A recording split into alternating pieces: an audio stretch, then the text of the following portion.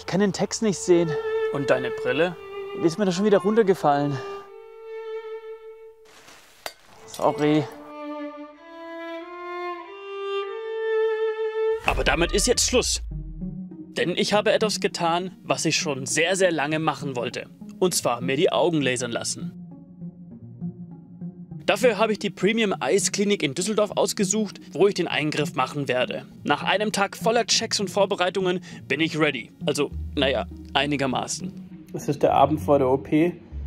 Alle Checks wurden erledigt. Es sieht alles soweit gut aus. Die Augen funktionieren, abgesehen davon, dass ich kurzsichtig bin. Äh, ich müsste aber lügen, wenn ich sagen würde, wird alles überhaupt kein Problem. Ich habe überhaupt keinen Schiss. Auch wenn die Ärzte gesagt haben, ich brauche keinen Schiss haben, aber trotzdem, die beiden Kullerchen hier, die werden aufgeschnitten. Richtig gehört. Mit der Femtolasik-Methode wird die Augenoberfläche aufgeschnitten und dann mit dem Laser behandelt. Wie hier einfach an der Orange dargestellt. Naja, und dann war es soweit. Nach 10 Sekunden ist das Ganze wieder vorbei und das komplett schmerzfrei. So, hab die OP überstanden und ich sehe wieder was. Aber hey, es ist vollkommen irre. Ich habe erst gedacht, das wird so eine Zeit dauern, bis, bis man wieder was sieht.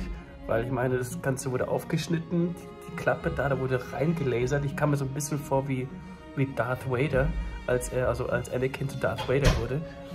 Und äh, ey, ab Sekunde 1 sieht man wieder was. Und das, ich denke die ganze Zeit, ich habe die Brille auf, aber ich habe sie nicht auf.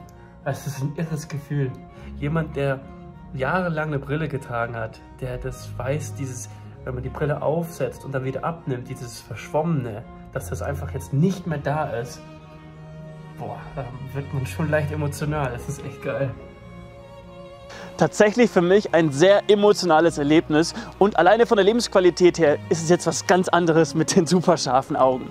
Und falls ihr auch Interesse an dem Ganzen habt, habe ich mich mit der Premium Eyes Klinik in Düsseldorf zusammengetan, falls ihr das Video bis hierher angeguckt habt, um auch einen Vorteil zu bekommen. Und zwar könnt ihr, wenn ihr Fahrdoch erwähnt, beim Anmelden einen schnellstmöglichen Termin bekommen und müsst nicht mehrere Monate warten. Und damit zurück zum Video.